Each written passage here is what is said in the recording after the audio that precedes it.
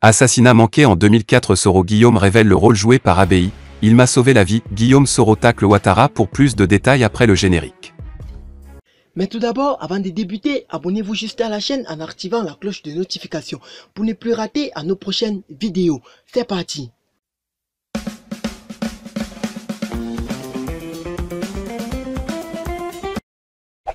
L'ancien président de l'Assemblée nationale de Côte d'Ivoire, Guillaume Kigbafori Soro, dans une déclaration rendue publique ce jeudi 23 décembre 2021, est revenu sur son assassinat manqué, le 27 juin 2004, à la radiodiffusion télévision ivoirienne, RTI. Si le leader du Génération et Peuple Solidaire, GPS, a eu la vie sauf ce jour-là, c'est grâce au commandant Jean-Noël Abbaye, ancien chef de la gendarmerie. Que s'est-il réellement passé ce 27 juin 2004 Alors que Guillaume Soro rencontrait l'ancien directeur de la RTI, Georges Venceslas Aboké, il a été la cible d'une foule en colère se réclamant du collectif des jeunes patriotes. Sentant les taux se resserrer autour de lui, il a demandé à ses proches qui l'accompagnent de se fondre dans la foule pour s'échapper. Malgré la présence de Kamaraté Souleymane Dissoul Toussoul, qui n'a pas voulu abandonner son mentor sur place, l'angoisse n'avait pas pour autant quitté Soro.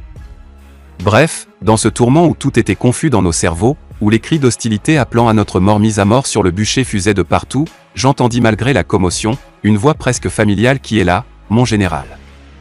Aussitôt, j'eus un déclic, s'est souvenu l'ancien président de l'hémicycle ivoirien. Il s'agissait du commandant Jean-Noël Abbaye.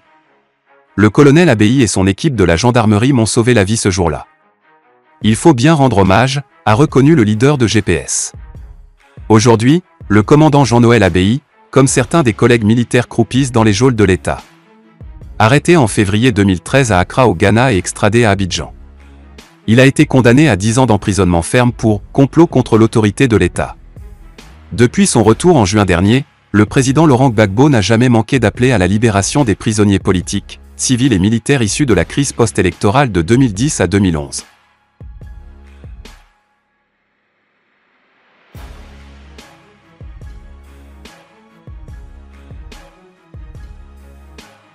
Mali, Assimi Goïta est dos au mur. À deux mois de la fin réglementaire de la transition, et après avoir annoncé le report des élections promises en février 2022, Assimi Goïta n'a plus beaucoup d'options. Pour sauver son bilan et sortir par la grande porte, le colonel putschiste doit jouer les rassembleurs. À quoi pensait le colonel Assimi Goïta ce matin du 7 juin quand il a troqué son habituel treillis pour l'uniforme de commandant du bataillon autonome des forces spéciales des centres d'aguerrissement, BAFCA, dans lequel il a prêté serment en chef militaire devant la Cour suprême. Avait-il alors mesuré la portée de cette nouvelle fonction quand, main gauche sur la Constitution et main droite levée vers le ciel, il a juré, devant Dieu et le peuple malien de respecter la Constitution et la charte de la transition? Lui qui a toujours préféré l'aventure sur les terrains périlleux de Mopti au faste du pouvoir se sentait-il à la hauteur de la tâche? Sept mois après la mise en place du deuxième gouvernement de transition, les engagements pris par Goïta, le 16 septembre 2020 à Accra, lors d'un sommet extraordinaire de la CDAO sur le Mali au cours duquel il a assuré que la transition ne durerait que 18 mois, semble loin d'être respecté. Début novembre, les autorités maliennes ont porté à la connaissance de la CDAO leur volonté de prolonger la transition au-delà du 27 février 2022, date à laquelle devaient se tenir les élections présidentielles et législatives. Une décision qui risque d'entraîner de lourdes sanctions contre le pays.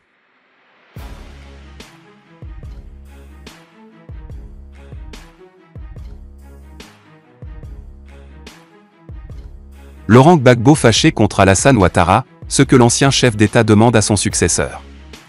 Laurent Gbagbo et Alassane Ouattara ne se sont plus adressés la parole depuis cet été.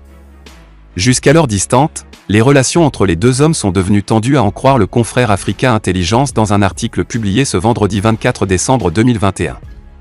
Selon le site français, l'ancien président ivoirien reproche à son successeur de ne pas lui avoir accordé l'ensemble des dispositions qui lui avaient été promises.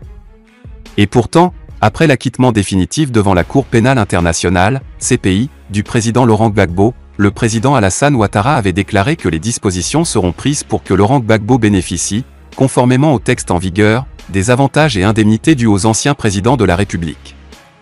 Un service de sécurité comprenant 10 agents, sous l'autorité d'un aide de camp, officier supérieur des Forces armées nationales de Côte d'Ivoire, FANCI, ou de la Gendarmerie nationale, un cabinet comprenant, un chef de cabinet, un chargé de protocole, un chargé de mission, deux secrétaires, trois chauffeurs pour trois véhicules dont, un véhicule de commandement de 17 CV maximum, un véhicule de type 4X4 de 13 CV maximum, un véhicule de liaison de type berline de 9 CV maximum, du carburant. Une indemnité contributive de logement ainsi que la prise en charge des frais d'eau, d'électricité et de téléphone dont les montants sont fixés dans la loi de finances, un personnel domestique comprenant, un maître d'hôtel, un cuisinier, un blanchisseur, un jardinier, deux gens de maison, une couverture médicale prenant en compte le conjoint et les enfants mineurs. Tels sont les avantages dont bénéficient les anciens chefs d'État conformément à la loi numéro 2005 à 201 du 16 juin 2005 portant statut d'ancien président de la République, d'ancien chef ou président d'institution nationale et d'anciens membres du gouvernement.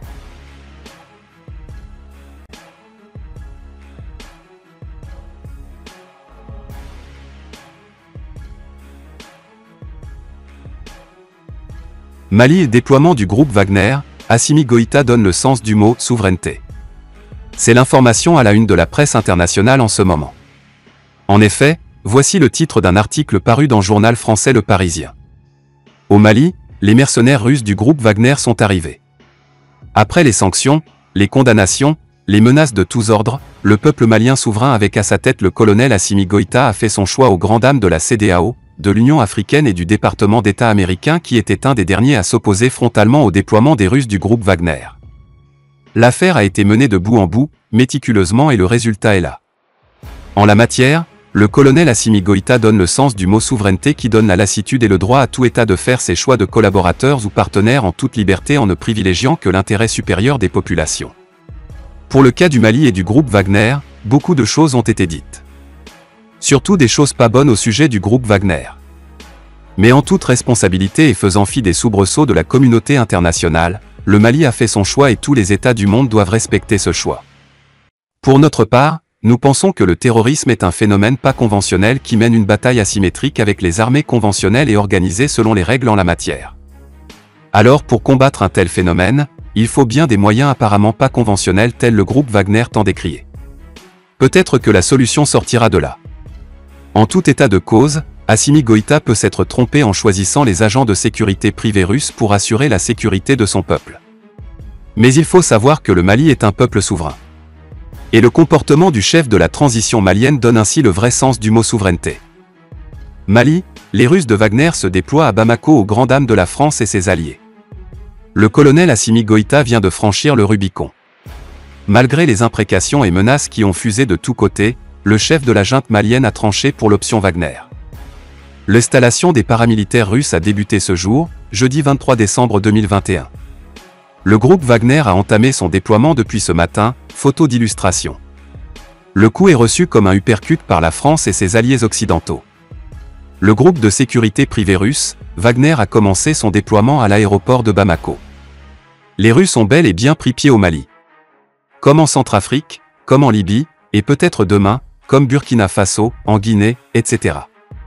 Et comme il fallait s'y attendre, 14 pays européens, la France en tête, en plus du Canada sont montés sur leurs grands chevaux produisant un communiqué commun pour condamner cette intrusion de la Russie via Wagner, dans leur arrière-cour que constitue l'Afrique de l'Ouest francophone. Officiellement, les Européens et leurs alliés américains disent craindre que la présence de Wagner accentue la dégradation sécuritaire en Afrique occidentale. Ils estiment par ailleurs que la rétribution des services du groupe paramilitaire russe est excessive par rapport aux disponibilités économiques et financières du Mali.